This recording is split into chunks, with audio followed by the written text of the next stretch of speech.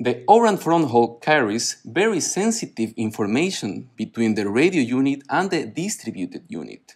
This sensitive information is divided into four data planes. A control plane that transports real-time control information over the eCPRI protocol, a user plane that transports real-time IQ sample user data also over the eCPRI protocol, a synchronization plane for timing and synchronization over PTP protocol, and a management plane for non-real-time management operations. All of these data planes impose very strict high-performance requirements that are defined by standardization bodies.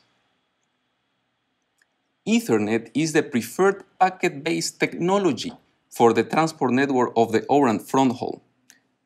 This is because of its ubiquitous applications and the ability to mix different types of traffic. The control user synchronization and management plane are encapsulated over Ethernet.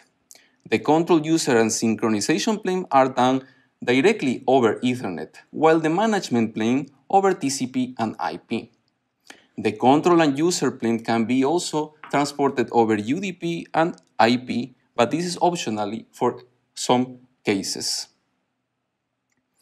Because of the clear text nature of the data planes encapsulated over the data link layer, there is a need also of security mechanisms to protect them in the data link layer.